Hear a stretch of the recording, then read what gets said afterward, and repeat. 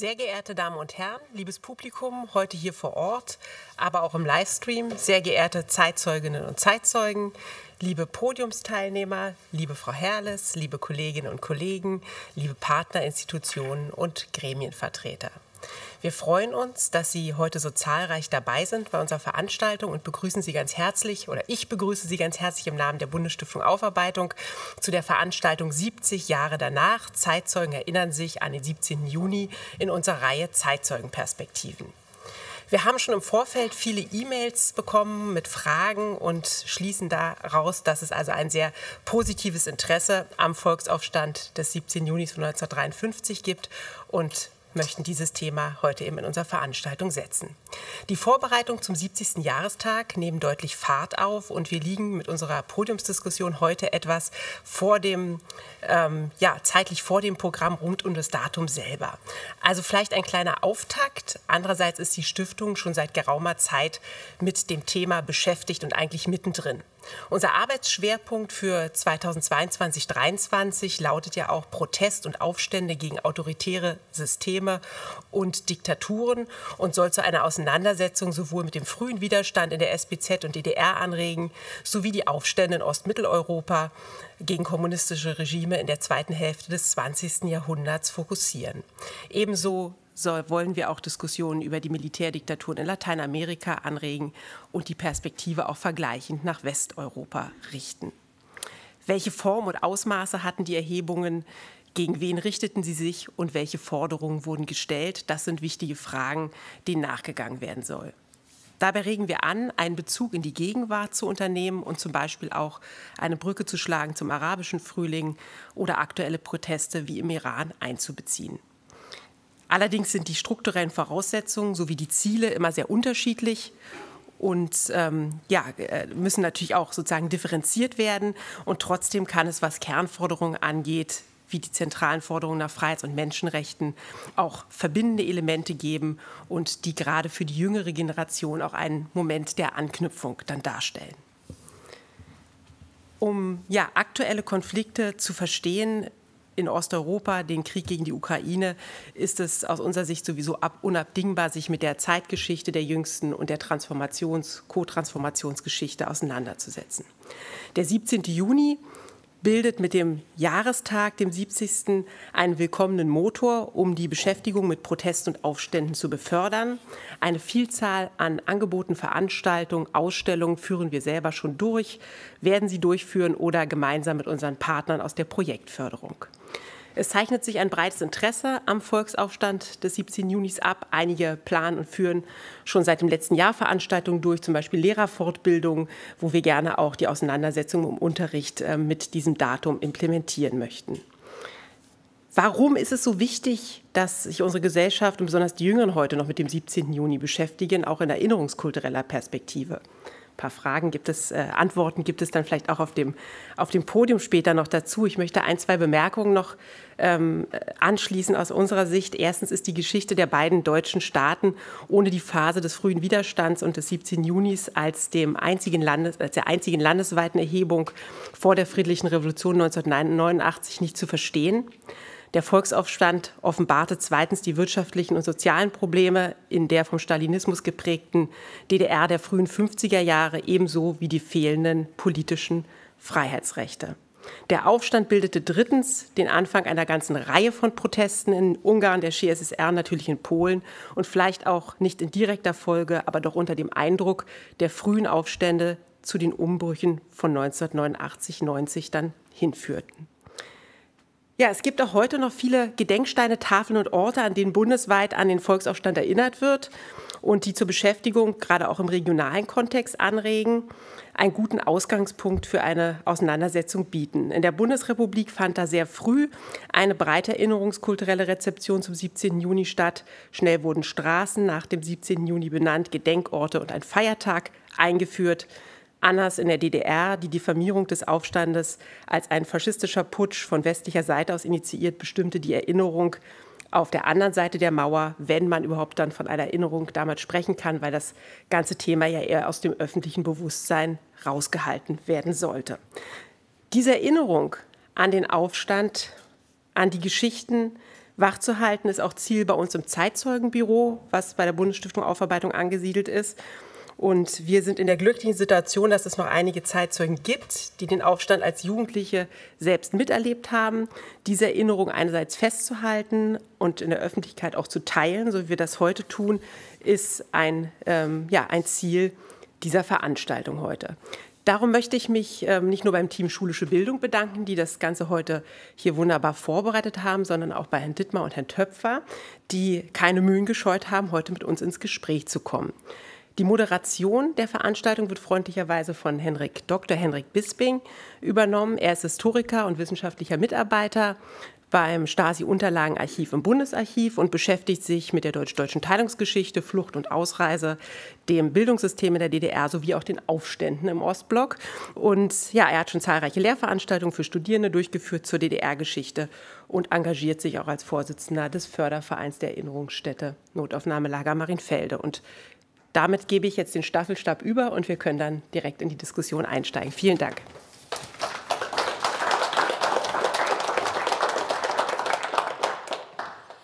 Ja, vielen Dank, Katharina Hochmuth, für die äh, freundliche Begrüßung und Einführung.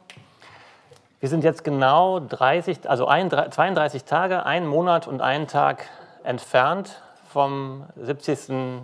Jahrestag des äh, Volks. 70. 70. genau, des Volksaufstands vom äh, 17. Juni. Äh, äh, Frau Hohmann hat das ja schon charakterisiert äh, als ähm, einschneidendes, bedeutendes Ereignis für die Geschichte der DDR und für die deutsch-deutsche Geschichte und auch für die Geschichte des kommunistischen Ostblocks insgesamt. Ich will kurz was zum Ablauf sagen. Wir werden hier erst eine, ungefähr eine Dreiviertelstunde hier auf dem Podium äh, sprechen und danach möchte ich das Gespräch auch ins Publikum öffnen und zwar sowohl in das, was hier vor Ort ist, als auch über diesen Bildschirm, der hier steht, äh, auf äh, mögliche Fragen ähm, äh, eingehen, die ähm, von den Leuten gestellt werden, die das Ganze eben jetzt im Livestream äh, am Bildschirm äh, zu Hause verfolgen. Bevor wir in die Diskussion einsteigen, stelle ich Ihnen aber zuerst unsere Gäste vor.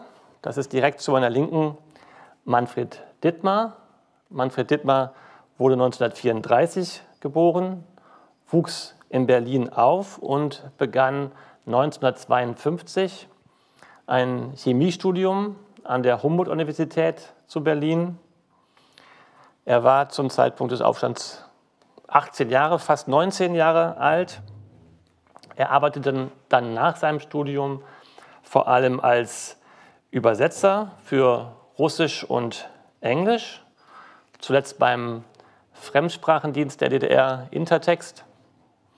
Und nach der Friedlichen Revolution hatte er noch eine ganz andere berufliche Station, nämlich er hat, äh, war Tätigkeit, tätig da, wo ich jetzt tätig bin, nämlich in der Behörde des Bundesbeauftragten für die Stasi-Unterlagen bis 1997. Seitdem wohnt ähm, lebt Herr Dittmar als Rentner in Berlin. In der Mitte oder links neben Herrn ähm, Dittmar sitzt Günther Töpfer. Günther Töpfer wurde 1941 in Magdeburg geworden, äh, geboren, ist aber aufgewachsen in Jena. Dort hat er den Aufstand als Schüler erlebt. Er studierte an der Hochschule für Bauwesen und Architektur in Weimar und Kurz nach dem Mauerbau hat er den Entschluss gefasst, aus der DDR zu fliehen. Der Plan wurde aber verraten und Herr Töpfer kam in Untersuchungshaft der Stasi in Berlin-Hohenschönhausen, später auch in Rummelsburg. Nach einigen Wirren und Wendungen konnte er aber sein Studium fortsetzen und war dann lange Zeit als Dozent an der Ingenieurschule für Bauwesen in Berlin tätig. Und nach der Friedlichen Revolution hat sich Herr Töpfer politisch engagiert. Er war neun Jahre für die CDU Abgeordneter im Abgeordnetenhaus des Landes Berlin. Und ganz äh, auf der von Ihnen ges äh, gesehenen rechten Seite sitzt äh, Udo, Dr. Udo Grashoff. Ähm, Udo Grashoff ist Historiker, ist wie ich Nachgeborener, hat den 17. Juni also nicht selbst erlebt, aber hat dazu geforscht unter anderem diese Publikation in der Bundesaufarbeit Bundesstiftung Aufarbeitung äh, von ihm zum Volksaufstand ist erschienen. Hat aber breit ähm, im Bereich der Zeitgeschichte geforscht und publiziert, ähm, vor 45, nach 45 und unter anderem auch eine interessante Studie vorgelegt zum Thema Suizid in der DDR.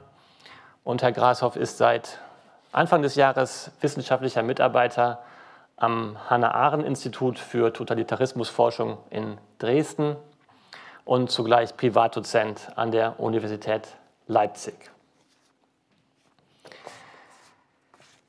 Ja, zunächst interessiert uns natürlich, wie die beiden Zeitzeugen dieses äh, Ereignis erlebt haben. Beide waren ähm, noch jung, äh, als das äh, passierte. Und Herr Dittmar, Sie waren, wie gesagt, 18 Jahre alt, studierten an der Humboldt-Universität. Wie haben Sie diesen Tag wahrgenommen? Wie haben Sie das erlebt, was hier in Berlin am 17. Juni 1953 los war? Nun, ich habe ja die Vorgeschichte äh, erlebt ähm, mit verschiedenen Maßnahmen gegen die junge Gemeinde zum Beispiel und so weiter. Und äh, da war das für mich also nichts Urplötzliches, was da geschah. Und ich habe das bis wenige Stunden vor dem 17. Juni, also am 16. schon äh, verfolgt und bin deswegen am 17. so etwa gegen 6 Uhr früh in Köpenick in die, auf den Bahnhof gegangen, wollte eine Zeitung kaufen. Neues Deutschland, Berliner Zeitung, das war alles ausverkauft, aber es gab noch den Morgen von der LDPD, also die Liberaldemokratische Partei Deutschlands. Und ja, auf der Seite 2, ich habe das dort ausgelegt, da stand da etwas zu den Normen. Aber wenn man das jetzt mit heute vergleicht, absolut ungeschickt. Äh, man hätte ja schreiben können, die Normenfrage äh, ist geklärt oder sonst was. Nee, da in, in kleinen Zeilen ein kleiner kleiner Beitrag und der war auch noch relativ schwer lesbar. Ähm, und deswegen ähm, war also das absolut nicht bekannt, dass die Normerhöhung um 10 Prozent im Prinzip zurückgenommen worden war. Und ich habe auch ausgelegt hier, mein Vater, der in der Friedrichshagener Straße in Köpenick bei der Kodak, äh, später Fotochemische Werke, äh, gearbeitet hat, der bekam eben am 17. Juni äh, ein Schreiben vom 15., dass im Betrieb die Normen um 8,6 äh, Prozent oder sowas erhöht werden. Ja, das war also schon nach der Aufhebung, kam eben verspätet diese Mitteilung. Eine Nachricht in, in einem Heft oder in einem Buch, das am am 17. Juni von diesem Betrieb Leute äh, demonstrieren gegangen waren, die ist natürlich falsch. Es sind bei der Kodak alle drin geblieben. Ja, und äh, am 17. Juni, wie gesagt, früh war ich dann von der Friedrichstraße und entgegen den Gewohnheiten stand dort ein russischer LKW unter der Brücke. Einige Soldaten da da auf der Ladefläche, andere sollen, und das habe ich nicht gesehen, im Bahnhof gewesen sein. Das heißt, die Besatzungsmacht war schon aktiv am frühen Morgen. Und dann bin ich durch die damals zu dem Zeitpunkt immer am frühen Morgen, 7 Uhr ungefähr, äh, ruhige Friedrichstraße, die Hannoversche zur Hessischen Straße ins Institut und um 8 Uhr äh, hieß es dann alle Genossen in irgendeinen Saal. Das weiß ich natürlich heute nicht mehr, in welchen Saal. Und damit waren die Labors im Prinzip leer. Also alle SED-Mitglieder? Ja, ja. Sie nicht? Nee, ich, ich war nicht in der FDJ, ich war nicht in der SED. Und äh, naja, auf jeden Fall äh, war dann Ruhe und es kam auch keiner mehr zurück. Die wurden irgendwie zu Agitationseinsätzen geschickt oder sowas. Das weiß ich allerdings nicht, wie das im Einzelnen dort abgelaufen ist. Und dann kamen die Gerüchte, äh, da ist ein Mann an der neuen Wache von einem Panzer angefahren worden Und andere erzählten eben, äh, die Hennigsdorfer kommen durch den französischen Sektor anmarschiert. Äh, das war also eine große Gruppe der Arbeiter aus dem Werk in Hennigsdorf. Dazu gibt es auch Fotos. Ja, und äh, ich fühlte mich so ziemlich alleine im Institut und bin dann äh, durch die äh, Bernauer Straße, nee, nicht Bernauer, äh, na, jetzt komme ich nicht drauf, also nach, nach Richtung Letter Bahnhof und in die Straßenbahn und ein, ein Straßenbahner hat mich dann umsonst nach Charlottenburg fahren lassen und dann habe ich mir ein Fahrrad bei einem mir bekannten Fahrradhändler geliehen und habe meine äh, Verwandtenwohnungen äh, abgefahren, wer denn da zu Hause ist. Es war ja ein Werktag. Ja, von da an habe ich dann den Rias abgehört, äh, wo äh, dann allerdings ein Schwenk, möchte ich sagen, um 180 Grad erfolgt war.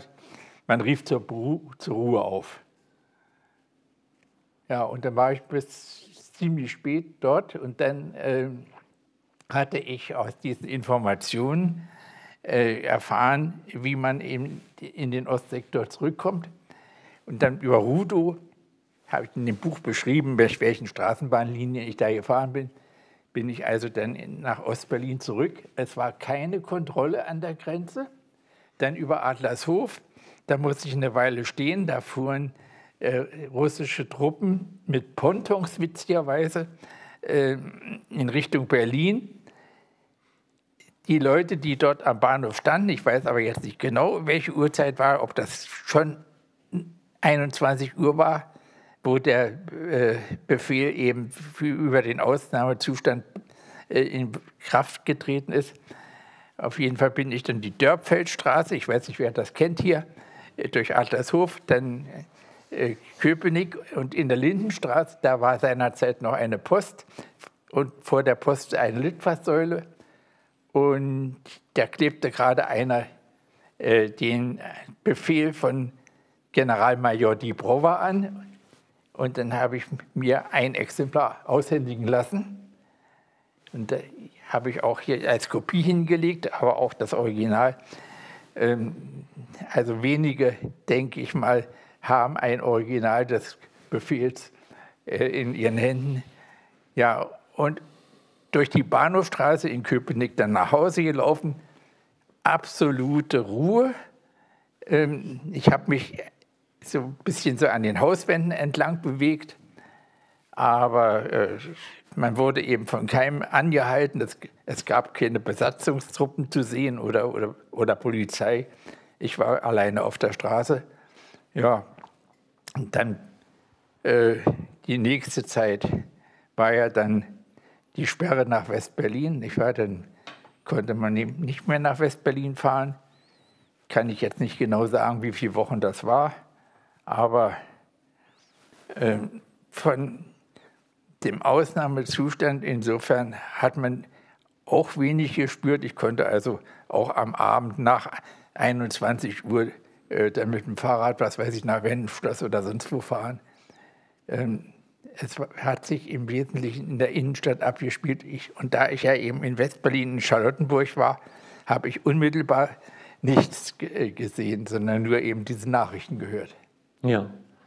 Sie waren also in Westberlin und sind dann quasi außenrum, äh, also eher durch die Außenbezirke wieder zurückgekommen äh, ja, und haben es als relativ. Das in der Innenstadt, genau. dass man da nicht rüberkommen konnte, das, das war einigermaßen klar. Nicht? Das, ja. das war also praktisch am Rande. Äh die bekannten Bilder so mit den Panzern, das, das, das, das äh, haben Sie selber ähm, äh, gar nicht sehen, aber die Situation nee, relativ nee, ruhig eigentlich aber, ähm, aber wie wahrgenommen gesagt, in, in, den äh, Abendstunden. Dort, dort abends um, um diese Zeit, um 21 Uhr oder so, keine Grenzkontrolle mhm. da in Rudo.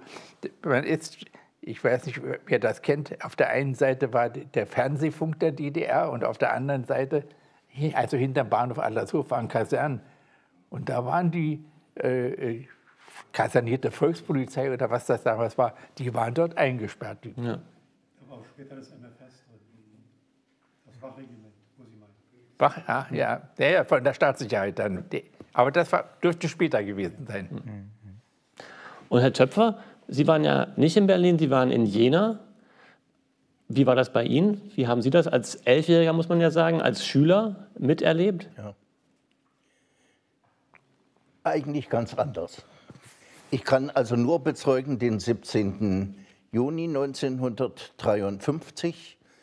Äh, ich war, das war ein Mittwoch, ich war ganz normal in der Schule. Ich vermute mal so ungefähr um die neunte Stunde rum kam der Direktor in das Klassenzimmer rein, tuschelte mit der Lehrerin etwas. Daraufhin hat die Lehrerin äh, uns entlassen und äh, uns beauftragt, auf schnellsten Wege und direkt nach Hause zu gehen und dort auf die Eltern zu warten. Ähm, ein Stückchen des Weges hatten wir diese Erinnerung noch im Kopf und dann äh, haben wir uns neu entschieden und äh, das war auch richtig so die Entscheidung kam, als ich in meine Wohnstraße äh, einbog. Die war gerade frisch umgenannt worden und hieß Stalinstraße. Äh, die Schilder wurden gerade heruntergerissen, nicht abgeschraubt, sondern also äh, möglichst schnell und zackig runter. Und daraufhin wurden wir ganz heiß und äh, schmissen unsere Ranzen zu Hause runter und eilten in die Stadt, also hatten völlig die Anweisung der Lehrerin äh, vergessen, eilten in die Stadt. Und in der Stadt erlebte ich nun doch einiges mit, was ganz anders ist, äh, wie Herr Dittmar das für sich erzählen kann. Also ich eilte dann äh, zum Gefängnis in Jena das war in der Nähe, falls jemand das kennt, in Krede-Unrein-Schule. Äh, also dieses übliche Gefängnis, wie das äh, aus der Vorkriegszeit übernommen wurde als Amtsgefängnis. Äh, da äh, tummelten sich Hunderte von Leuten und äh, auf einmal ging der Sturm auf das Gefängnis los. Und ich war dabei ich hatte aber nicht die Absicht, das Gefängnis zu stürmen, sondern ich war einfach eingeschlossen in der Masse der Leute und die Masse der Leute schob von hinten uns gegen das Gefängnistor und das Gefängnistor öffnete sich wie Sesam äh, öffne dich, also so ähnlich wie im 15. Jänner 1990 in der Normandenstraße, also die Innendiensthunden öffneten aus irgendwelchen eigenen Schutzüberlegungen öffneten das Tor. Ja, und dann war ich nun auf dem Gefängnishof und dann dachte ich mir, na, dann musst du auch dir das Gefängnis mal angucken. Man war als Junger äh, natürlich neugierig gewesen. Daraufhin bin ich dann also hoch. Da war man noch beschäftigt damit, die Zellentüren äh, aufzumachen. Und dann habe ich mir das angeguckt und wie Sie in der Anmoderation gehört haben, hat es ja dann nicht mehr lange gedauert, nur noch acht Jahre. Und dann habe ich selber in einer solchen Zelle gesessen, nicht in Jena, sondern in der Normannstraße äh, in Hohenschönhausen und in, äh, zum Schluss nachher in, in Rummelsburg. So, also das war die Sache, nachdem das Gefängnis gestürmt war, war es eigentlich für uns uninteressant. Wir eilten eigentlich weiter. Also wir waren dann, oder ich war dann Zuschauer bei der Erstürmung der FDJ-Kreisleitung. Äh, unbeteiligt, sondern habe nur gestanden und habe gesehen, dass tonnenweise äh, Propagandamaterial aus dem Gebäude herausgeworfen wurde und das immer mehr sich ansiedelte äh, im Umfeld. Ähm, wo wir dann den guten Beschluss gefasst haben. Also am Nachmittag werden wir mit dem Handwagen hierher gehen, holen uns das Altpapier und das verkaufen wir in den nächsten äh, Tagen. Da hatten wir noch nicht so weit gedacht, wie die nächsten Tage werden könnten. Dann haben wir nämlich doch ziemlich Angst gehabt, dass wir dieses Propagandamaterial zwei, drei äh, äh, Fuhren mit dem Handwagen nach Hause geschleppt haben und eben reich werden wollten durch Verkauf von Altmaterial. Und ähm, ja, nachdem wir also nun gesehen haben, wie die also gereinigt wurde, die FDJ-Kreisleitung, äh, eilte ich dann noch äh, auf den Hauptmarkt äh, in Jena. Da war die Kreisleitung der FDJ, nein, Entschuldigung, die Kreisleitung der Gewerkschaft in dem Gebäude zur Sonne. Und da schmiss man auch alles heraus, ohne zu gucken, äh, ob da jemand vielleicht im Wege ist. Und man schmiss also horizontal heraus ein Stalin-Bild, was geglast war. Und dieses Stalin-Bild segelte so runter auf die Erde und knallte unmittelbar von mir ungefähr diese Entfernung, wie Sie jetzt hier sehen, äh, auf die Erde des, des Marktes. Hatte ich ein Glück, dass Stalin nicht mir über die Birne äh, flog. Ja, eine Frau, also ich empfand die als förmlich hysterisch, trampelte dann auf dem Stalin-Bild herum, zertrampelte das, kreischte irgendetwas, äh, war also für mich damals eingeschätzt nicht so ganz bei Sinnen, was sie da machte. Ich habe also noch nie so eine tollwütige Frau gesehen, auch später nicht. Und äh, das war dann, sagen wir mal, die dritte Stelle. Und dann bin ich, und das wurde dann gefährlich. Dann, gut, der Sturm aufs Gefängnis war nicht, auch nicht ganz ungefährlich, aber da war ich ja völlig unbeteiligt, sondern nur geschoben worden.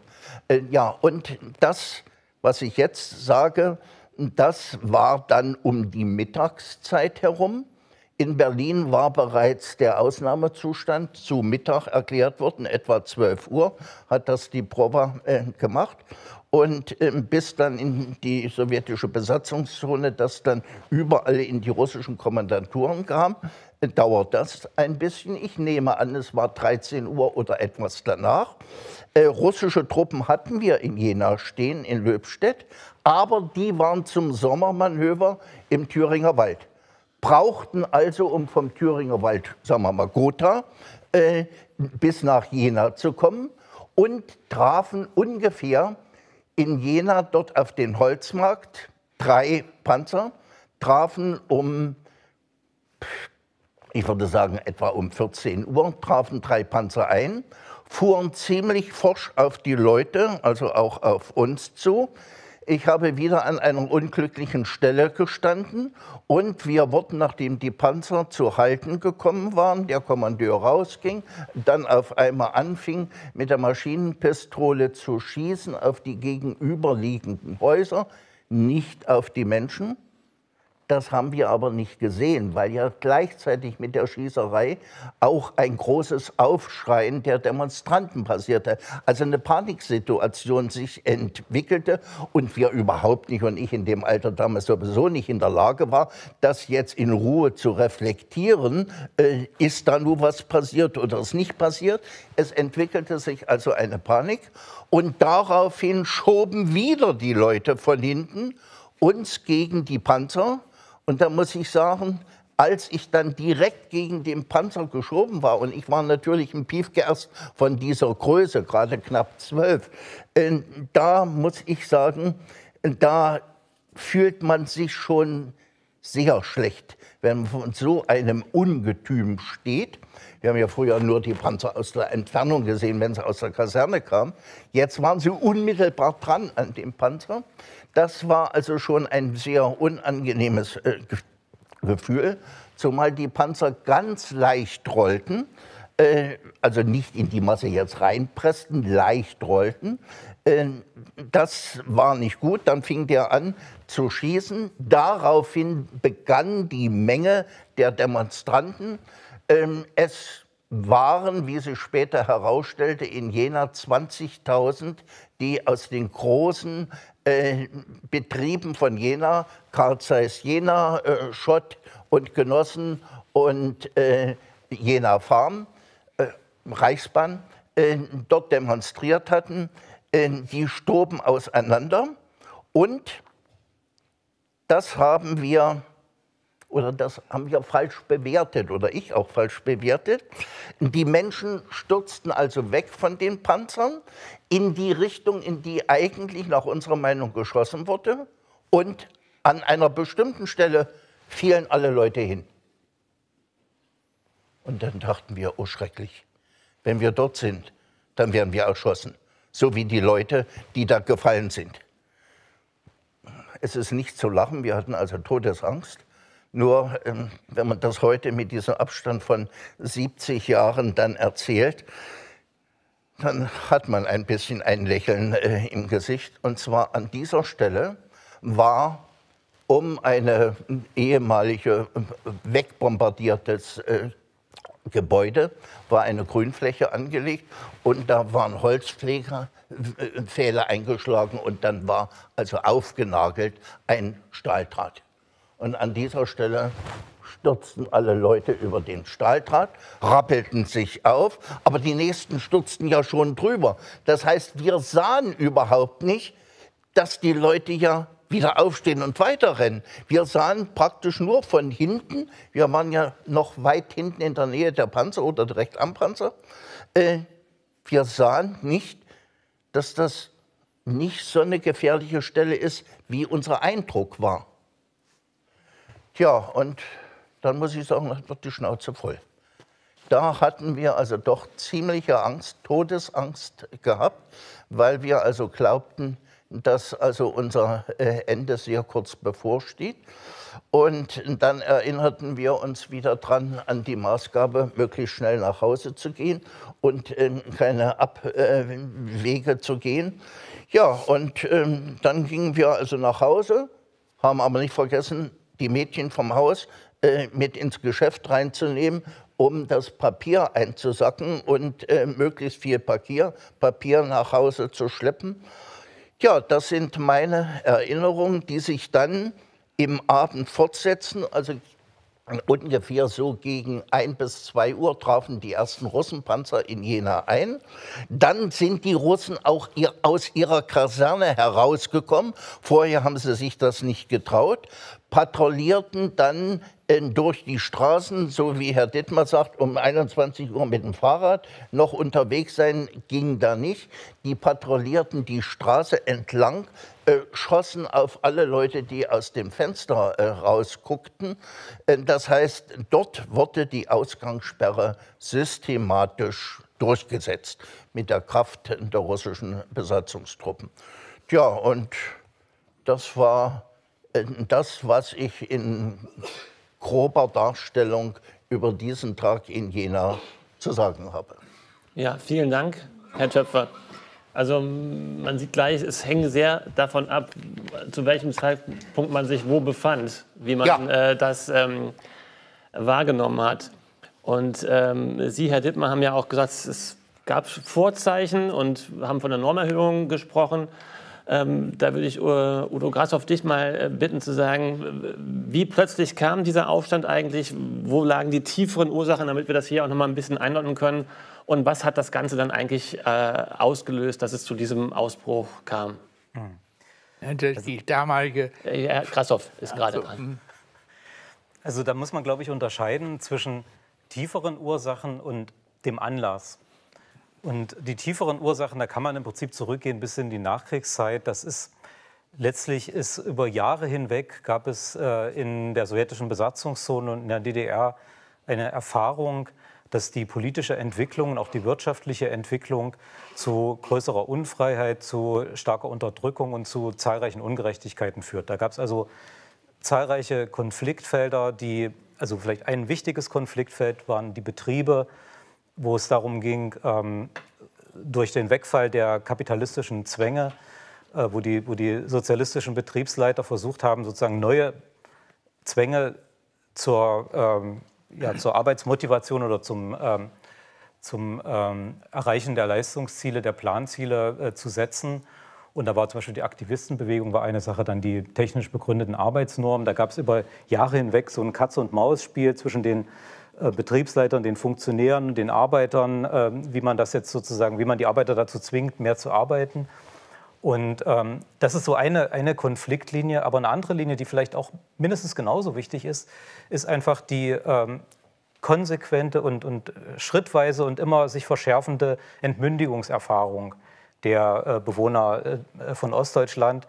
Das äh, geht also äh, damit los, dass es keine wirklichen Wahlen mehr gibt ähm, das ähm, geht damit los, dass es letztlich eine Stalinisierung des öffentlichen Lebens gibt. Das kulminiert vor allem im Jahr 1952, als die SED dann tatsächlich offiziell auch den beschleunigten Aufbau des Sozialismus verkündet und zahlreiche sogenannte objektive Feinde verfolgt. Das sind also Kleinunternehmer, das sind auch, ähm, Sie hatten es ja schon gesagt, äh, die, die Christen, die jungen Gemeinden zum Beispiel. Ähm, und es ist dann so, dass im Verlauf, also nach, nach der Verkündung dieses äh, beschleunigten Aufbaus des Sozialismus, sieht man dann tatsächlich, dass einerseits der Flüchtlingsstrom in die Bundesrepublik zunimmt und dass sich die Zahl der Häftlinge in den Gefängnissen verdoppelt ja. innerhalb von wenigen Monaten. Und wenn man sich die Delikte anguckt derjenigen, dann sind das ganz oft solche Delikte wie Wirtschaftsverbrechen.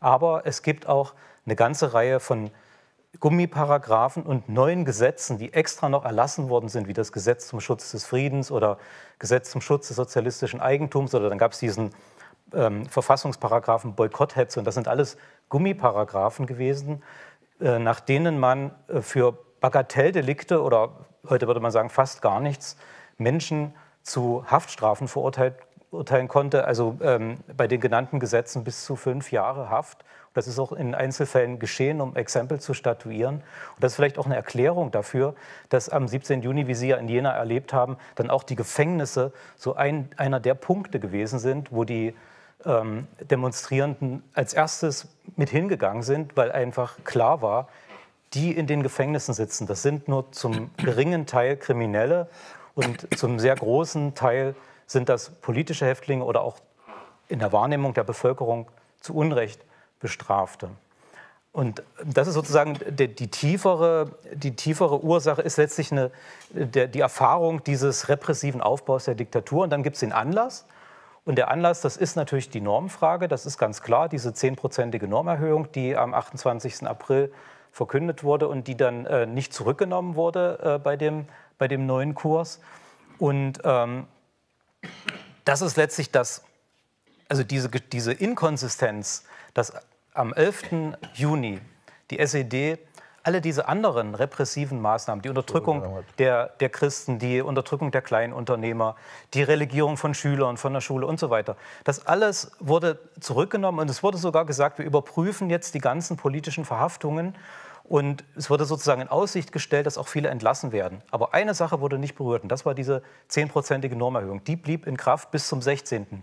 Juni. Und diese Inkonsistenz verbunden mit der Wahrnehmung der Bevölkerung dieses neuen Kurses als Bankrotterklärung der Regierung. Denn es wurde nicht erklärt, warum eigentlich die SED sozusagen äh, wie ein Blitz aus heiterem Himmel auf einmal ihre gesamte Politik um äh, 180 Grad wendet.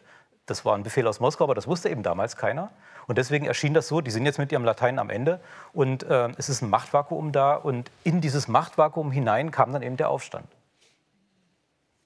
Ja, vielen Dank.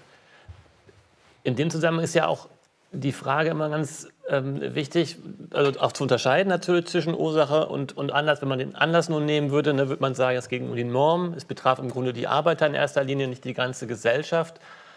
Und dass die ähm, Rede von dem äh, faschistischen Putschversuch, wie Frau Hochmuth schon eingangs erwähnt hat, sozusagen SED-Propaganda äh, war, äh, war im äh, Westen schon immer unumstritten und auch nach 1989 in der gesamtdeutschen Forschung. Aber so ein bisschen hat man ja mal diskutiert, ist das eigentlich jetzt eine Arbeitererhebung oder ist das ein Volksaufstand? Was wurde eigentlich gefordert? Ging es jetzt um, um die Arbeiter oder ging es allgemein um Freiheit, um Einheit? Ähm, Herr Töpfer, als Sie da in Jena mitten im ja. Gewühl waren, haben Sie irgendwelche Parolen gehört oder Banner gesehen oder irgendwas, wo man daraus schließen mhm. konnte, worum es inhaltlich ging? Ungeachtet also der Tatsache, dass es jetzt mal die Gefängnisse stürmte, um die zu Unrecht Verhafteten äh, zu befreien. Ja, Konnten ich Sie habe hauptsächlich etwas gehört und äh, das hat sich bei mir also dauerhaft eingeprägt. Spitzbart, Bauch und Brille sind nicht des Volkes Wille das wurde äh, skandiert. Und äh, selbst die, die es aufgrund ihrer eigenen politischen äh, Konstellation anders sehen, es war so, dass insbesondere der Spitzbart, also der Genosse Walter Ernst Paul Ulbricht, Im Übrigen, beide Vornamen durfte man nicht sagen, das war schon Misskreditierung gewesen. Dafür konnte man bestraft werden.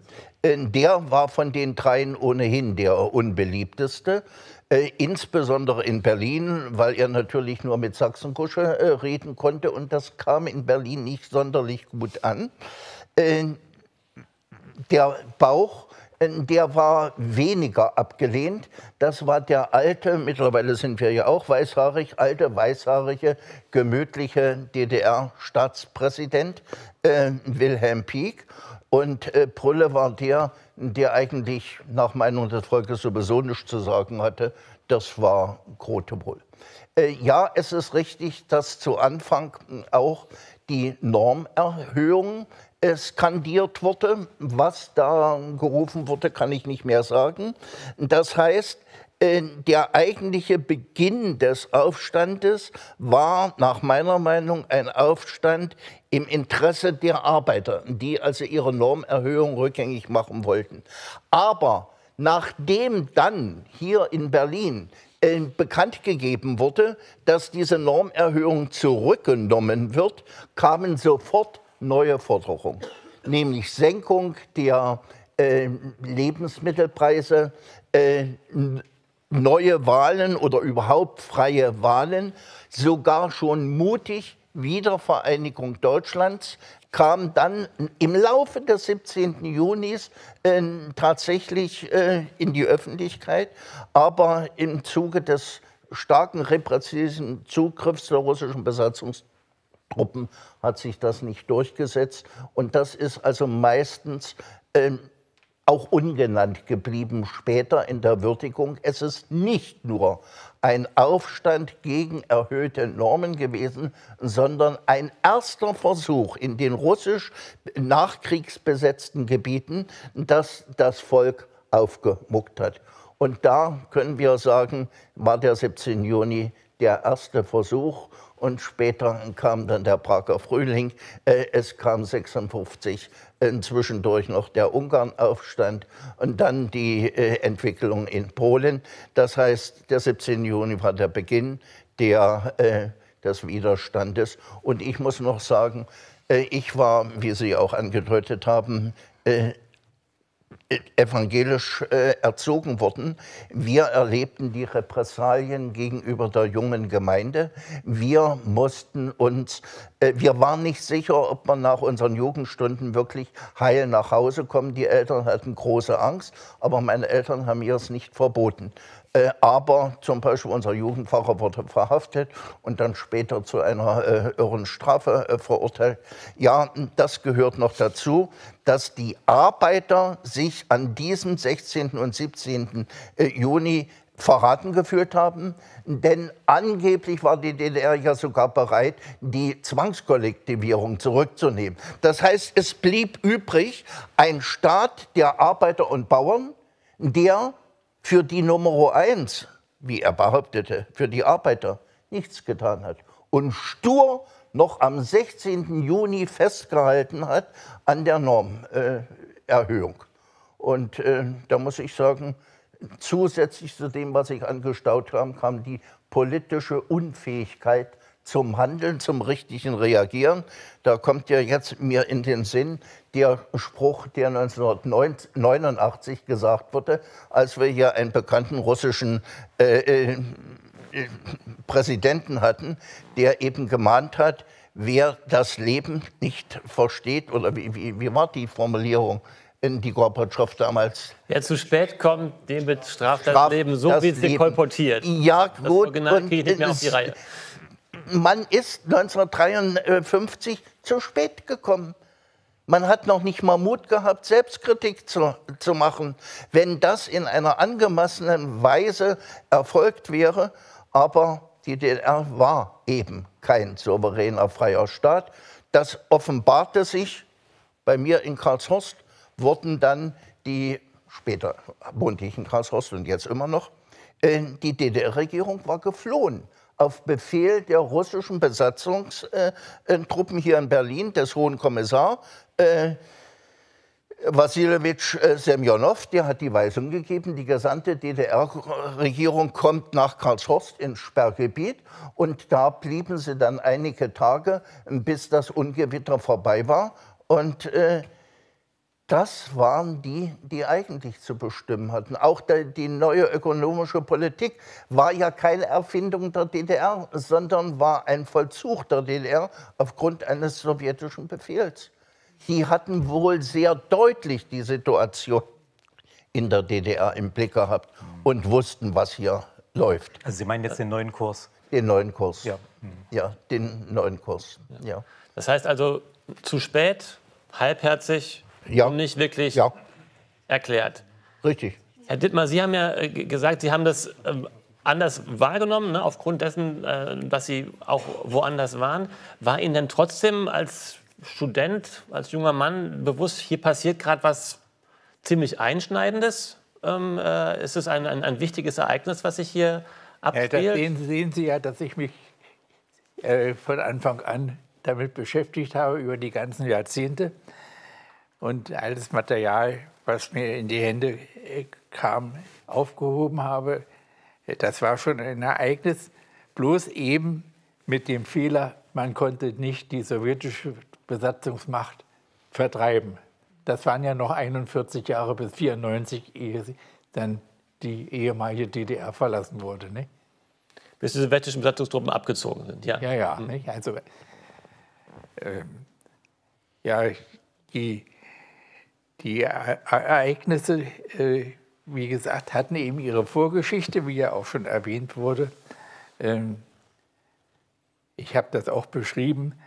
Also äh, in, im Chemischen Institut, im sogenannten Emil Fischer Hörsaal, war etwa, ich sage mal 14 Tage vorher, eine Versammlung einberufen worden. Und äh, da ging es eben darum, äh, die Mitglieder der jungen Gemeinde zu entlarven. Ja, und ein Professorensohn aus meinem Studienjahr, der Friedrich Ritschel, der Vater war Physikprofessor, der sagte dann, wollt ihr noch einen Professor weniger haben? Das war also sehr, sehr mutig. Es ist dadurch, dass der 17. Juni kam, ähm, ich sage rund 14 Tage später, eben nicht zu irgendwelchen Maßnahmen gekommen. Äh, Der junge Mann ist unbehelligt geblieben, trotz seiner äh, Reden, die er geführt hat. Nicht? Und, ja, ähm, und äh, ja, jetzt komme ich im Moment nicht auf den Namen, auf jeden Fall. Äh, äh, dieser Dozent, der die Versammlung geleitet hat, der wird witzigerweise in, einem, in zwei Bänden, wer war wer in der DDR, als Dissident nachher geschildert. Ja, es war aber ein Übler. Genauso wie, äh, das mögen manche nicht hören, Robert Habemann ja ein ganz scharfer gewesen ist zu der Zeit, nicht wahr? Der, Zu der Zeit, genau. ja, ja. mhm. Manche Menschen wandeln sich ja im Ja, ja. Laufe ihres Lebens durch Erfahrung. Ja, also ihre ich habe Paulus, Paulus. Haltung. Ich, Hm? Saulus Paulus ist eine uralte ja, ja. menschliche? Geschichte. Also ich, ich habe diese Leute unmittelbar erlebt. Nicht wahr? Und, äh, wir hatten, das hat jetzt mit dem 17. Juni nichts zu tun, aber wir hatten einen Studentenball, Fasching, und da waren solche Sprüche wie, äh, äh, wir haben zwar kein Klopapier, aber einen Sputnik haben wir. Das war ein bisschen später, ja. Hm. Ja? Und solche Sachen waren da bei dem Fasching angemacht. Nicht? Also die Und Diskrepanz zwischen dem, was im Alltag Nicht? fehlt und was, Und- und dann- ähm, womit Propaganda Dann war, wird. waren also äh, Habemann und Neuenhöfer, der Organiker, äh, in, in einem Gespräch mit den Studenten. Und äh, Habemann sagte also, dass die Studenten äh, eben diese reaktionären äh, Parolen dort angebracht hätten und, und so weiter und so fort. Und die waren alle im zweiten chemischen Institut, wie das hieß. Und dann entgegnete Neunhöfer, ja, ja, und die kommen alle aus ihrem ersten chemischen Institut. Und damit war die Sache eigentlich erledigt. Ja. Ja. Ich habe, den habe man ja auch noch erlebt, das war wohl 64, nicht in seinen letzten Tagen an der Uni. Und ich habe auch in der Chemikerzeitung, die dann in der DDR verboten wurde, ähm, die Artikel äh, von ihm gehabt. Aber ich konnte das natürlich nicht publik machen. Meine Eltern haben die Zeitung mitgebracht. Im Osten war die verboten. Ich habe die bei mir in, in, der Bibliothek eingeordnet, ohne aber irgendeinen Ton darüber zu verlieren. Ja. Ich würde gerne noch mal zurückkommen so ein bisschen auf die Frage, wir haben jetzt gehört, was in Berlin los war, was in Jena los war. Das sind äh, die Hauptstadt und es ist eine äh, wichtige ähm, äh, Universitätsstadt. Kann man von einem Volksaufstand sprechen? Ähm, wie sah es im, in, im, in der übrigen Region ähm, ähm, der DDR aus? Wie sah es vielleicht auch im ländlichen Raum aus? Ich habe jetzt kürzlich was gelesen, dass es da sogar schon eher losgegangen sei. Wir haben ja von der Kollektivierung gehört, davon waren ja vor allem die Bauern betroffen.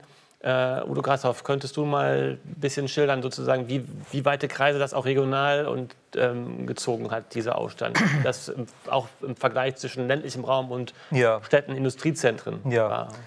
Also vielleicht könnte ich so anfangen, dass ich vielleicht erst kurz schildere, was überhaupt mein Zugang zum 17. Juni ist, der ja weit vor meiner Geburt lag und wie ich überhaupt jetzt ähm, zu diesem Thema gekommen bin und äh, was mein Zugang dazu war. Und das war eben ein lokaler. Also ich bin in Halle an der Saale geboren und ähm, habe ähm, so ungefähr um das Jahr 2000 herum angefangen, mich mit der Geschichte des 17. Juni in meiner Heimatstadt zu beschäftigen und da waren eigentlich die wichtigsten Fragen, ähm, die kamen eigentlich noch gar nicht so sehr da, äh, von, äh, von so einer sagen wir mal, normativen Bewertung, was war der Aufstand eigentlich, sondern es ging erstmal darum, bevor man überhaupt dahin kommt, zu verstehen, was an dem Tag passiert ist, mussten wir erstmal durch so, durch so eine Barrikade von Propaganda-Erzählungen, ähm, Mythen und Lügen uns durcharbeiten und das ist also gerade in, in, in Halle ist das sehr, stark, sehr konzentriert gewesen. Da gab es also auf der einen Seite die ähm, vermeintliche KZ-Kommandöse Erna Dorn, die dort aus dem Gefängnis befreit wurde und dann angeblich eine Rolle in dem Aufstand gespielt haben sollte, was nicht stimmte, aber die dann trotzdem in der Propaganda ganz groß äh, rausgebracht wurde, auch überregional und dann hingerichtet wurde, sogar zum Tode verurteilt und hingerichtet wurde und so als so ein ähm, gefälschter Beweis äh, präsentiert wurde, dass es also sich um einen faschistischen Putschversuch handelt. Das war so diese eine Geschichte. Und die andere Geschichte, die auch in Halle passiert ist, dort ist bei dem Versuch eines der großen Gefängnisse in Halle, den berühmten Roten Ochsen, zu stürmen, was nicht gelungen ist, also anders als in Jena, ähm, ist ein ähm, junger Wissenschaftler, ähm, ein äh, wissenschaftlicher Mitarbeiter äh, erschossen worden. Der ist durch einen Querschläger getroffen worden. Und da wurde ein Staatsbegräbnis äh, für ihn gemacht und er wurde als ein FDJ-Funktionär präsentiert. Wir haben dann bei Recherchen ähm, mitgekriegt, nach 1990, äh, dass das ein, ein, ein christlicher ähm, Wissenschaftler war, der zwar auch pro forma mit in die FDJ eingetreten war, aber der das nur gemacht hat, um seine Ruhe zu haben. Und ähm, der also auch ähm, eher politikfern gewesen ist und äh, dessen Familie einfach gezwungen wurde, böse, äh, gute Miene zum bösen Spiel zu machen und dieses, dieses ähm, politische Begräbnis, also das war wirklich ganz groß, propagandamäßig aufgemacht mit einem Sternmarsch durch Halle. Das war richtig so eine, so eine Propaganda-Aktion und in Wirklichkeit äh, ist, der, ist der junge Mann nie ein Funktionär gewesen und äh, ist auch kein Opfer der, der äh, Streikenden gewesen.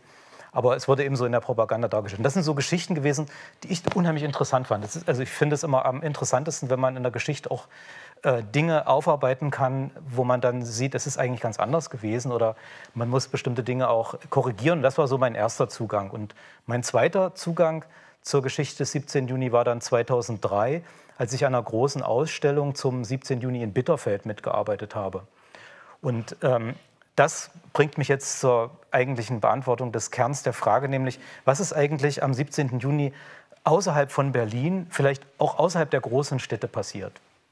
Und Bitterfeld ist da ein sehr gutes Beispiel dafür. Es gibt also gibt noch mehrere mittelgroße und kleinere Städte, ähm, teilweise auch äh, sagen wir mal Landstädte wie zum Beispiel Jessen, wo Bauern demonstriert haben. Aber es gibt auch so Beispiele, dass in vielen kleineren Orten es auch große Demonstrationen gab. Und Bitterfeld ist insofern ein besonderes Beispiel, als dort wirklich die Streikenden, die haben ein Streikkomitee gewählt und haben die Macht im gesamten Kreis Bitterfeld für ein paar Stunden übernommen und sind auch nicht nur regional aktiv gewesen, sondern haben, und das, ich weiß gar nicht, wie oft das überhaupt passiert ist, haben tatsächlich auch in dieser Zeit, als sie dort an der Macht waren, ein Telegramm an die Regierung der DDR geschickt mit der Forderung an die DDR-Regierung zurückzutreten.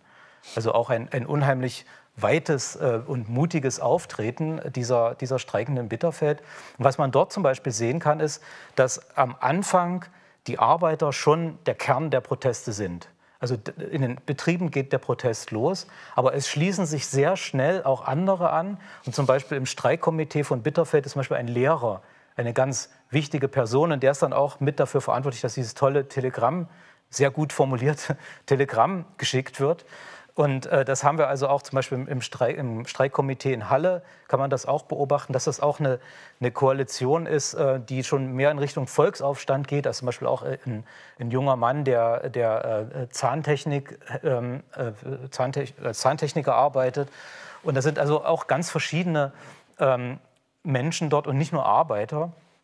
Und so würde ich sagen, also dieser, dieser Aufstand hat im Prinzip als ähm, Arbeiteraufstand in den großen Industriezentren ähm, begonnen, aber ist gleichzeitig eingebettet in eine generelle Unruhe im ganzen Land, also auch in ländlichen Gebieten. Und auch das, ähm, was schon kurz angeschnitten wurde, stimmt, dass man also auch nicht nur den 17. Juni selber als Tag, als Ereignistag hat, sondern dass eigentlich schon seit der Verkündung des neuen Kurses, seit dem 11. Juni, man, wenn man so in Akten schaut, in den Vorkommnismeldungen in den ländlichen Gebieten, man dann schon Losungen auf die Straße äh, gemalt findet oder dass zum Beispiel vor Gefängnissen es schon Menschenansammlungen gibt, in Brandenburg zum Beispiel, in, in Weimar äh, gibt es also schon lange vor, also schon am 12. oder 13. Juni gibt es schon Menschenansammlungen vor Gefängnissen, sodass sich der, der Aufstand auch schon so langsam anbahnt. Und in Berlin geht es ja auch schon am 15. los. Ja.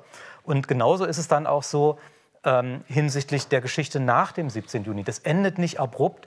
Es kann sein, dass in bestimmten Orten, in bestimmten Stellen dann Ruhe gewesen ist, aber in vielen Betrieben Gerade in Bitterfeld zum Beispiel habe ich das beobachtet.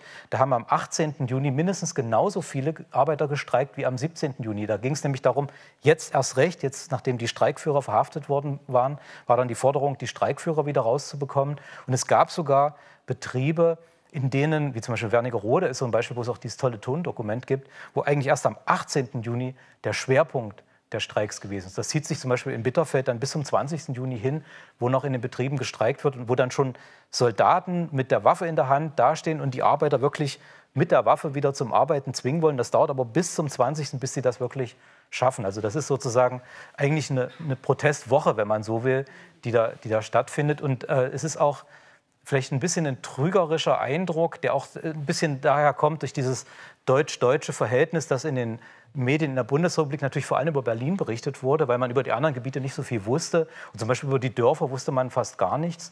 Und was wir heute wissen, ist, dass von den 700 Orten, die in denen Proteste stattgefunden haben in der DDR, dass da auch mindestens ein Drittel kleine Orte, Dörfer gewesen sind. Also es gab auch sogar, ich weiß, Zodel zum Beispiel, so ein ganz kleiner Ort in, ähm, in, der Lausitz, da, da, ist also eine Demonstration im Dorf gewesen, wo nur ein paar Leute demonstriert haben, dann den Bürgermeister abgesetzt haben.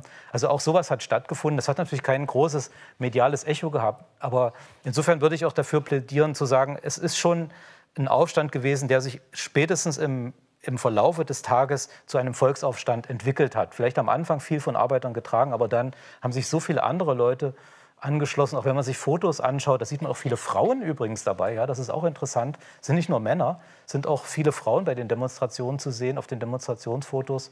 Also insofern mein Plädoyer wäre eben schon, diesen Begriff Volksaufstand auch dafür zu verwenden.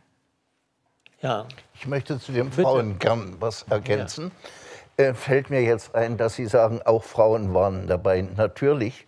Und ich habe Folgendes erlebt. Als ähm, auf dem Holzmarkt, das war die Sache, wo die, ich über die Panzer gesprochen habe, äh, war die Kreisleitung der SED, die wurde gestürmt. Aus, äh, den, aus der ersten Etage flogen Gewehre heraus und eine Frau nahm die Gewehre und steckte sie in den Gullideckel hinein mit dem Lauf und machte eine kurze Seitenbewegung, schmiss dann dieses unbrauchbare Gewehr zur Seite. Äh, so hat sie ja ihren Friedenskampf, ihren persönlichen Anteil an dem 17. Juni in Jena gehabt, indem sie die Waffen unbrauchbar gemacht hat und auch nicht etwa jetzt den äh, Aufständischen in die Hand gegeben hat. Nun erschießt mal ein paar, hier habt ihr ein paar Waffen. Nein, so war es nicht. Die äh, Frauen waren, meine Mama war auch äh, bei der Demonstration dabei. Das habe ich dann aber erst am Abend erfahren, als ich dann artig zu Hause war. Aber was im Laufe des Tages passierte, habe ich dann nur stückchenweise meiner Mutter erzählt. Äh, lassen Sie mich noch was zu dem Papier sagen. Das ist nicht das große Geschäft unseres Lebens geworden, äh, was wir glaubten, sondern wir kriegten scheißende Angst nachher um 20 Uhr, als die Russen durch die Straßen gingen. Und daraufhin haben wir begonnen, dieses ganze Propagandamaterial äh, in der Waschküche äh, zu verfeuern. Ähm, wir waren aber so doof und haben in den Kupferkessel kein Wasser reingefüllt. Und Sie können sich vorstellen, äh, welche Konsequenz das hatte, mehrere Zentner Papier unter dem Kupferkessel zu verbrennen. Tja, das brachte uns natürlich heftigen Ärger am äh, Folgetag ein, nachdem wir den Kupferkessel, der den Krieg überstanden hatte, zur Sau gemacht haben. Also wir haben keinen Verdienst mit unserer äh, Papierbeute äh, gemacht, sind also keine Gewinner dieses Tages geworden. Äh, der Gewinn des Tages ist dann erst am 9. November 1989 äh, hier passiert. 36 Jahre später. Und da muss ich natürlich auch gleich daran denken, dass auch da versucht wurde, Papiermaterial als Beweismaterial äh, zu vernichten, aber von der anderen Seite, nämlich in den äh, ähm, verschiedenen Gebäuden des Ministeriums für Staatssicherheit. Ja. Ähm, also wir sehen sowohl, was die beteiligten Bevölkerungsgruppen und Schichten angeht, ähm, und als auch was die regionale Verteilung angeht, als, und das finde ich besonders interessant, auch was die zeitliche Ausdehnung angeht, muss man das Ganze etwas breiter fassen. Der Historiker und auch die Institutionen der Aufarbeitung sind ja oft immer so ein, bestimmt auf ein bestimmtes Datum äh, ein Stück weit fixiert. Das kann man sich gut merken. Da kann man einen Feiertag draus machen, da kann man auch äh, Gedenkveranstaltungen machen. Aber das äh, erinnert uns nochmal daran, solch, sowas hat nicht nur Ursachen, sondern es hat auch meistens Vorläufer und es hat Nachwehen. Und häufig ist, äh, ist eben nicht nur ähm, ein Tag, der ähm, interessant ist, sondern eben auch äh, ist es ein längerer Zeitraum, in dem was passiert. Ich hätte noch äh, Fragen äh, an das äh, Podium hier, aber ich möchte angesichts der fortgeschrittenen Zeit jetzt gerne Ihnen aus dem Publikum die Gelegenheit geben, auch äh, Fragen an die Zeitzeugen und den Historiker zu stellen. Bitte. Hier, der Herr. Ja, ich habe jetzt eine Frage. Ich habe gehört. Ah ja, okay. Äh, Robel ist mein Name. Äh, ich bin von der Zeitzeugenbörse, aber ich habe jetzt eine ganz private Frage. Ich bin aus Charlottenburg. Ähm, ich komme ursprünglich, ich bin Jahrgang 48, ich bin 68 nach Berlin gekommen und habe mich dann mit der ganzen Sache 17. Juni auch beschäftigt. Was ich jetzt Sie aber fragen wollte, warum sind Sie von Charlottenburg über Rudow nach Adlershof mit anderen Worten, war denn die Grenze wirklich so, schon so geschlossen wie später zum äh, 13. August, dass man nicht durchkam oder hatten Sie einfach Angst? Ich wollte einmal mal wissen, hat man schon wirklich Chaussee Nein, oder was? Wenn ich da antworten kann, ich, ich habe ja den ganzen Tag am Rundfunk gehangen, also Rias, und da wusste man, wo man noch eventuell in den Ostsektor ohne Kontrolle kommen konnte. Und das war eben diese also waren, überall waren schon Kontrollen aufgestellt an den Grenzen. Ja, ja. Ne? Also U-Bahn fuhr nicht mehr weiter, S-Bahn war. also ich kann jetzt nicht mehr sagen, wie viele Wochen äh, dann die Sektorengrenze gesperrt war. Aber ich habe auch Papiere, äh, wo also zum Beispiel einer Schwedin äh, dann genehmigt wurde, in den Westen zu fahren, äh, also eine schwedische Staatsbürgerin. Also es war eine ganze Zeit die Grenze wirklich zu, ja? Ja, also, ja. Ah, das, das, ist für mich nämlich neu, ja. Das, das andere äh, wollte ich fragen, ich, wie gesagt, ich bin in Westdeutschland aufgewachsen. Der 17. Juni für, war für uns immer der nationale Badetag. Wir haben also nichts, nie, ja, wir haben, da war was in der DDR, in Ostberlin, SPZ oder so, aber als so junger Mensch, habe ich das überhaupt nicht mitgekriegt, was da los war. Ich, mir ist es erst richtig bewusst geworden, wie ich dann hier in Berlin gelebt habe und bin als Westdeutscher dann am Anfang aus Spaß an unserem Feiertag nach Ostberlin gefahren. Das war genauso ähnlich wie unser Feiertag Himmelfahrt, ja auch nicht. Wir haben einfach gar keinen großen Unterschied gemacht. Da fehlt, fehlte also in Westdeutschland wirklich die Unterrichtung. Woher was war da los? Wir haben es nur so gehört. Und dann erst hier so wurde mir bewusst, ja Mensch, das, Kind, das ist ja wirklich toll. Und ich kann mich auch nicht erinnern, dass wir, wenn wir als Westdeutsche am 17. Juni in der Heinrich, wir mussten ja Heinrich-Heine-Straße rüber, dass da irgendwie schlimmere Kontrollen waren oder sowas. Also ja, war eben einfach so und ja, ist man einfach drüber weggegangen. Das ist ja meine Äußerung jetzt dazu. Äh, ich wundere mich eigentlich nur, das war wirklich meine Hauptfrage, dass die Grenzen so zugemacht worden sind. Das wusste ich jetzt nicht. Also, ja, ja. schön. Also für die bewaffneten Organe, um mal in dem Jargon dieser vergangenen Zeit zu sprechen, war der 17. Juni äh, ein Tag, wo die Herzklopfen gekriegt haben. Da gab es keinen Urlaub, äh, da, äh, die, alle mussten präsent sein. Und es äh, war bis zum Schluss einer der Tage, wo sie sich selber daran erinnert haben, wie gefährlich die Situation für sie war. Und sie waren allzeit bereit, ihren Staat zu verteidigen. Ja, um das noch kurz zu ergänzen, tatsächlich das Ministerium für Staatssicherheit hat immer im Vorfeld des, jedes Jahrestags aufgelistet, wo sind irgendwelche Aktionen geplant, ähm, wo könnte es brenzlig werden, bis hin zu der Kuriosität, dass 1956, drei Jahre später, es gab eine Auflistung von Dampferfahrten auf dem Müggelsee hm. im Vorfeld des 17. Juni, weil die Arbeiter vom Krankenhaus Friedrichshain auf einem Betriebsausflug, auf einer Bootsfahrt diesen Beschluss zu diesem Streik gefasst haben. Ne, da sieht man also, wie, wie, ähm, wie, wie sensibel, neurotisch man, man anlässlich dieses Jahrestags war. Udo Grasser. Ich wollte bloß noch mal ganz ergänzen, äh, kurz ergänzen. Ähm, der 17. Juni, der Tag der deutschen Einheit in der Bundesrepublik, hat auch eine Geschichte. Und äh, zu einer Zeit, wo Sie vielleicht noch, noch zu jung waren, also in den 50er und Anfang der 60er Jahre gab es mal eine Zeit, wo dieser Tag wirklich auch ein politischer Tag gewesen ist, wo es also gerade in den 50er Jahren gab es also eine Vielzahl an von Menschenmengen besuchten politischen Veranstaltungen in der Bundesrepublik. Und das waren oftmals auch äh, sehr äh, stark äh, inszenierte, sehr, sehr auch an die Emotionen appellierende Veranstaltungen. Also da gab es zum Beispiel Mahnfeuer von Erhebungen, die, wo man das Feuer dann von der DDR aus sehen konnte. Dann gab es Stafettenläufe. Ähm, es gab große Kundgebungen auch immer in, in West-Berlin. Da gibt es auch ähm, einen Film, einen sehr interessanten Film mit Willy Brandt, der da an der Spitze ähm, eines Zuges. Man sieht da auch, dass da wirklich nicht bloß 30 Leute sind, sondern 10.000 oder noch mehr, die da teilnehmen. Und man sieht auch, welche Teilnehmer das sind. Also es gibt dann so bestimmte Gruppen in der bundesdeutschen Bevölkerung, die an diesem Tag auch sehr aktiv sind. Das sind vor allem die Vertriebenen. Also die vertriebenen Verbände spielen eine ganz wichtige Rolle am, am 17. Juni bei den Demonstrationen. Das sieht man auch mit, mit ihren Wappen laufen die dort. Und ähm, also diese Feierkultur ist dann in den 70er und vor allem in den 80er Jahren verloren gegangen. Die gab es dann nicht mehr. Aber das heißt nicht, dass der Tag schon von Anfang an so ein äh, unpolitischer Feiertag gewesen ist, wie Sie ihn dann als junger Mensch erlebt haben. Das wollte ich nur noch mal ergänzen. Ja. Obwohl es nur Hannover war, war ja eigentlich ja. so weit weg von der Zonengrenze. Ja. Ne? war, zu weit weg.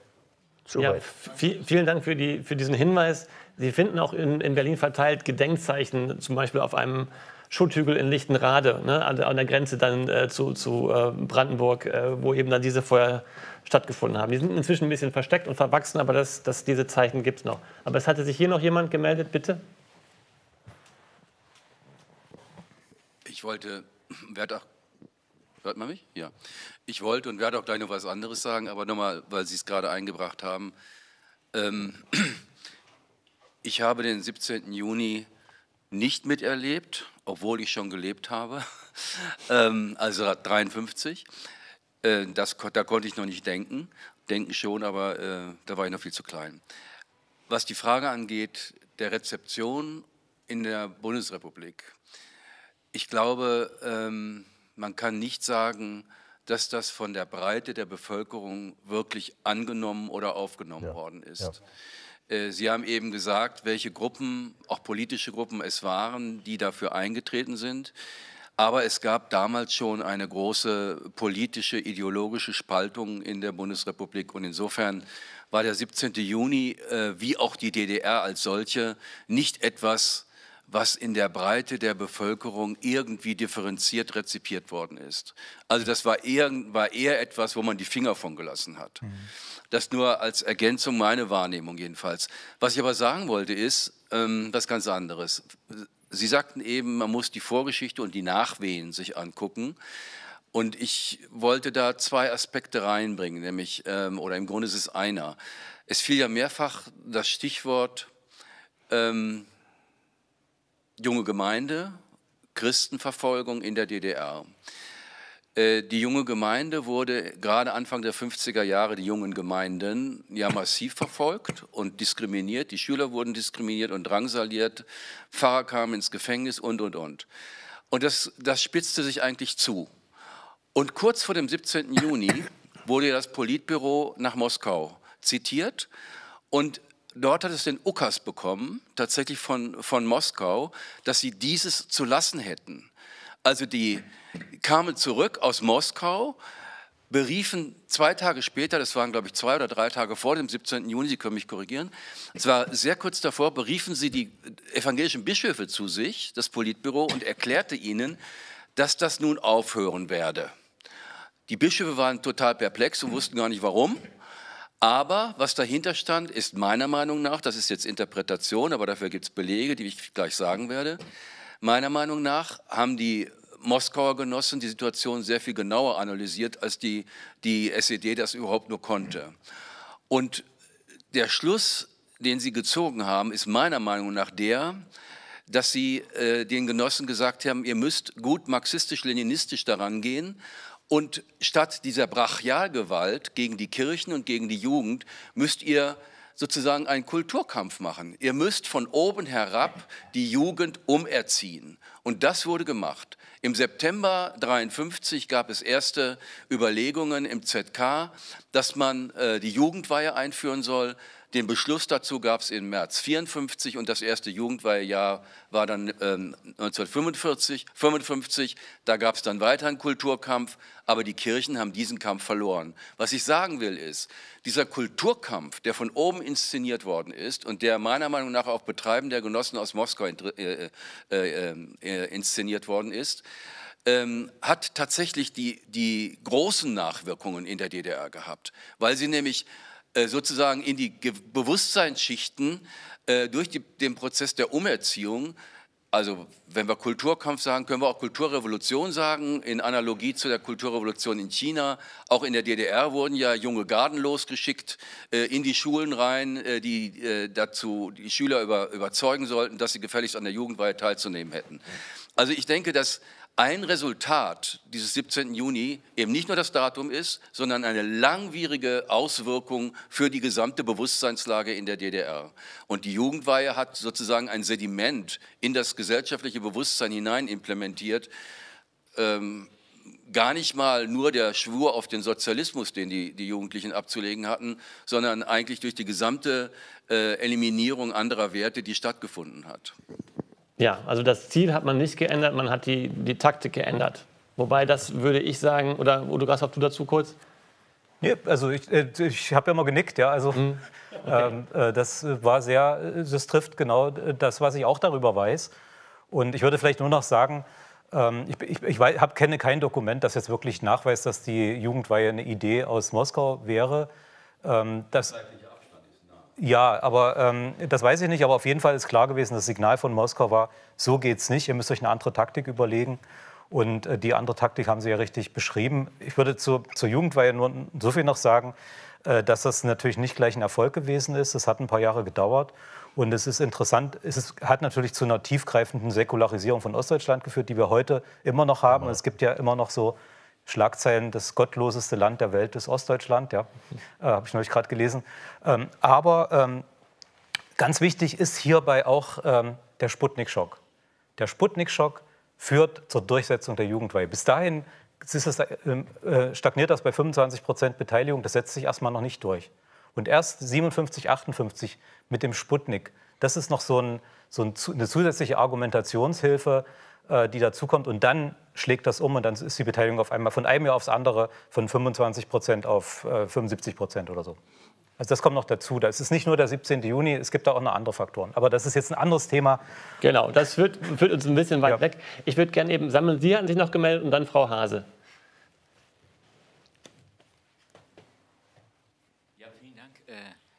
Martin Lutz, ich bin auch wie andere in, in Westdeutschland äh, geboren und aufgewachsen und ich hatte eine, eine Frage äh, zur Verbindung zur. Äh, ich habe eine Frage zur Verbindung zur friedlichen Revolution, wenn ich darf. Ähm, äh, spielte der 17. Juni in der, in, bei der friedlichen Revolution im kollektiven Gedächtnis eine Rolle? Oder wenn ja, wie groß ist die Rolle? Vielleicht auch in dem Sinne, dass man sagt, äh, wir machen jetzt ganz bewusst eine friedliche Revolution, weil die etwas gewaltsamere Revolution am 17. Juni nicht erfolgreich war. Also das würde mich interessieren, sozusagen die Verbindung 17. Juni und 1989. Können Sie etwas dazu sagen? Frau Hase?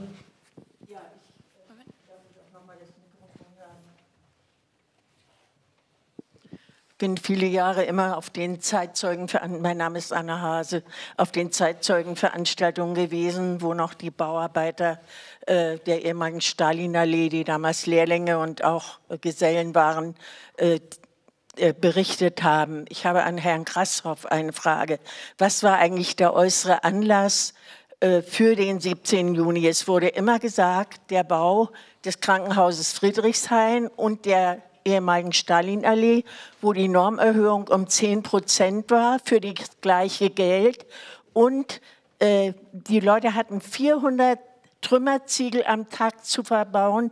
10 Prozent mehr war nicht zu schaffen.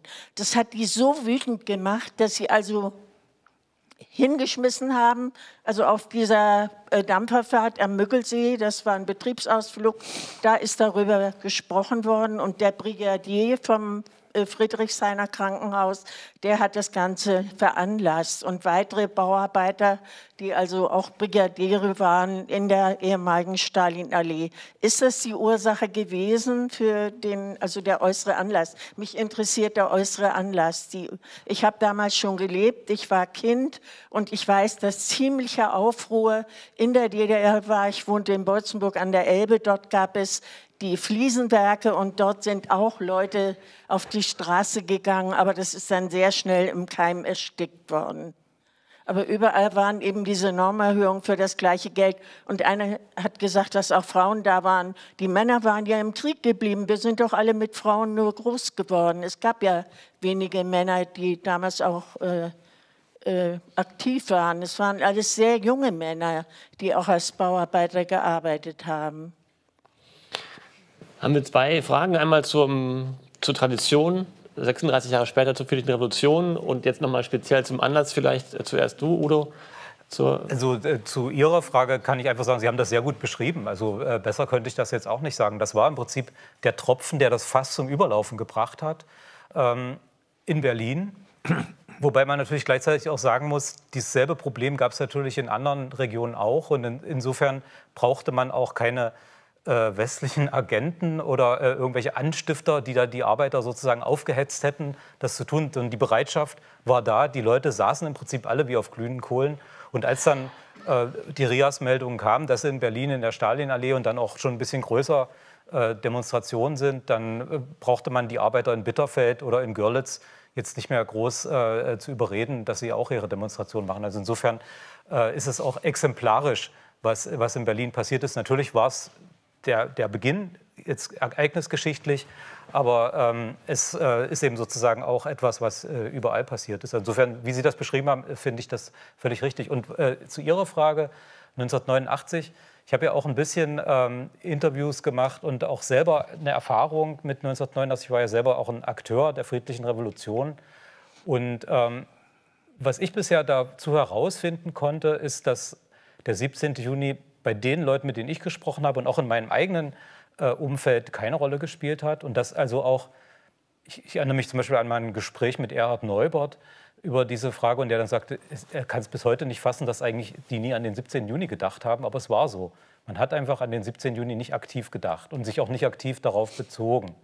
Aber auf der anderen Seite denke ich schon, dass die, die weit verbreitete Losung Keine Gewalt, die ja wirklich äh, zentral gewesen ist, gerade im Oktober 1989, ähm, vielleicht zumindest zum Teil auch etwas mit dieser, mit dieser Angst, mit dieser traumatischen Erfahrung, Sie haben ja auch diese Todesangst beschrieben, die ja auch weitergegeben wurde und äh, die man, die man in der DDR auch gefühlt hat, weil es auch ein Tabuthema gewesen ist. Und insofern denke ich, dass vielleicht der 17. Juni den Leuten, wenn sie es auch nicht bewusst gehabt haben, schon irgendwie in den Knochen gesessen hat, um mal diese Metapher zu verwenden und schon auch mit einer Rolle gespielt hat. Wobei man auch nicht vergessen darf, dass es natürlich auch neuere Erfahrungen gegeben hat. Es hat 68 in Prag gegeben, es hat den, das Massaker auf dem Platz des himmlischen Friedens gegeben. Das hat natürlich auch alles eine Rolle gespielt, aber es Ungarn. könnte... Ungarn, genau. Aber ähm, es könnte, also diese, diese sag mal, Erfahrung des 17. Juni, die ja auch in den Familien noch äh, überall gewesen ist, diese, diese Angst und diese, diese auch äh, Todesnähe, die viele erfahren haben an dem Tag, äh, die könnte auch noch mit einer Rolle gespielt haben. Herr Töpfer, Herr Dittmar, haben Sie da, ja. äh, als, als es dann zu den Ereignissen kam im Herbst 1989, haben Sie da eine Verbindung hergestellt zu 1953 oder war das für Sie Also ich kann Folgendes Neues? sagen, ich, ich wurde ja erwähnt, ich war ja bei der Stasi-Unterlagenbehörde also in den mindestens 1000 Akten, die ich hatte, war überhaupt nie ein Bezug zum 17. Juni. Wurde, das war also offenbar äh, nicht mehr nach den Jahren das Thema.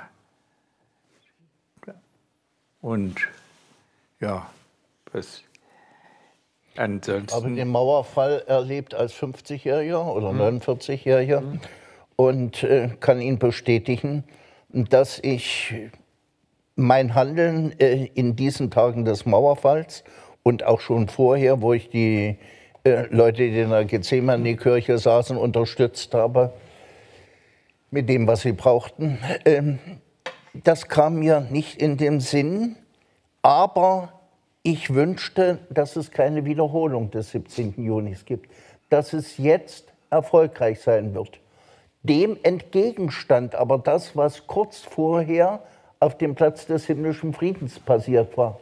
Die existenzielle Angst, dass die DDR, die DDR-Oberen, äh, in dem Augenblick, wo ihr Staat ihnen entrinnt, dann tatsächlich zum letzten Mittel greifen und Waffen gegen das aufmüpfige Volk einsetzen. Dass es dazu nicht gekommen ist, ist bestimmt nicht unser Verdienst, die auf der Straße demonstriert haben, sondern ist zu sagen, das sind die wenigen vernünftigen, einsichtigen Leute, die an den Schalthebeln der Macht damals saßen und davon wirklich keinen Gebrauch gemacht hatten. Sie hätten es können. Die 70.000 in Leipzig hätte man zerstreuen können, wenn man dort mit Maschinenpistolen reinschießt aber dazu ist es nicht gekommen. Ja, es das ist war kein, Grenz. Es ist, Sie nennen einen Namen. Äh, ich weigere mich, einen bestimmten Namen zu nennen. Er alleine war es bestimmt auch nicht, sondern es war auch derjenige, der einfach nicht an der Bernauer äh, Straße, einfach an diesem Tag, in dieser Zeit, in dieser Stunde äh, keinen Befehl kam, bekam, wie er zu handeln hat. Und er hat in diesem Moment nach seiner eigenen Überzeugung gehandelt und hat gesagt, ich werde es nicht schaffen, diese 10.000 Leute vor mir alle zu erschießen oder sie zurückzudrängen und hat dann die, die Mauer dort geöffnet. Also kein Dankeschön an diejenigen, die an diesem Tag äh, benannt werden, namentlich. Da will ich mich nicht dran beteiligen.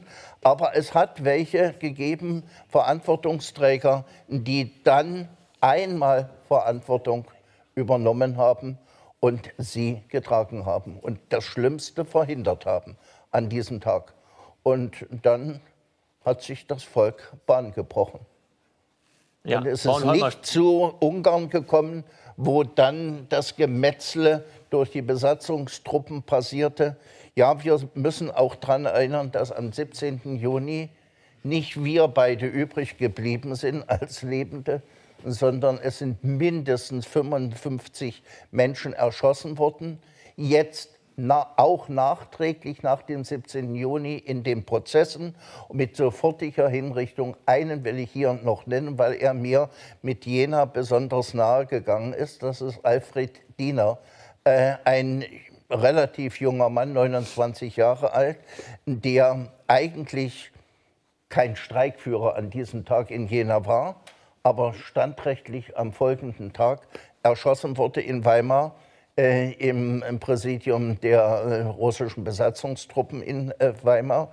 Was hat der Mann davon? Was haben die vielen, die nach Verurteilung nach Vorkuta äh, geschickt wurden, nicht zur Erholung, sondern in diese schlimmen Lager nördlich des Polarkreises, auch der Alfred Diener ist durch die russische Militärgeneralstaatsanwaltschaft rehabilitiert worden. Das heißt, sein, äh, sein, Urteil, sein Todesurteil ist als ein Unrechtsurteil von den Tätern selber, von der Täterseite akzeptiert worden.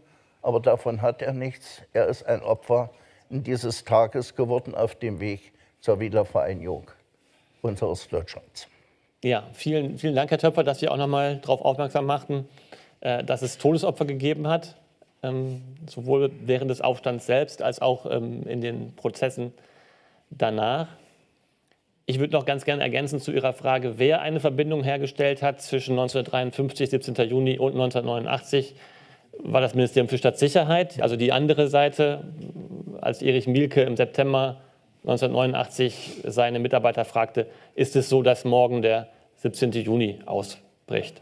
Also für das Ministerium für Staatssicherheit, die das ja nicht verhindert hatten, 36 Jahre vorher, war dieses Ereignis eine, eine traumatische er Erfahrung. Ein, ein auch, Schock, ja. Äh, ein, ähm, und umgekehrt mhm. natürlich für die Bevölkerung, die erleben musste, dass dieser Aufstand ähm, niedergewalzt wird, gewaltsam ebenfalls. Ja, ähm, ich denke, das ist ein ganz guter Abschluss, dass wir nochmal diese Brücke vielleicht nicht in die Gegenwart geschlagen haben, aber zumindest äh, in, die, in das ähm, Ende der DDR. Ich möchte mich ganz gern bedanken, ganz herzlich beim Podium, bei Manfred Dittmar, bei Günther Töpfer und bei Udo Grashoff. Und ich möchte Sie noch aufmerksam machen.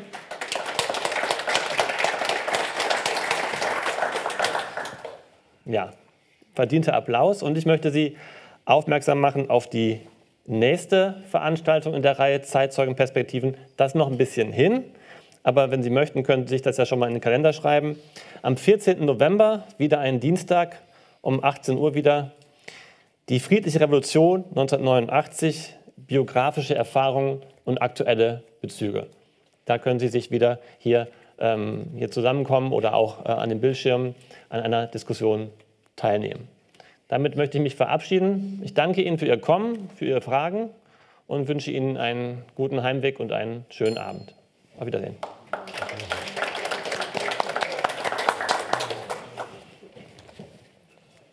In meinem Buch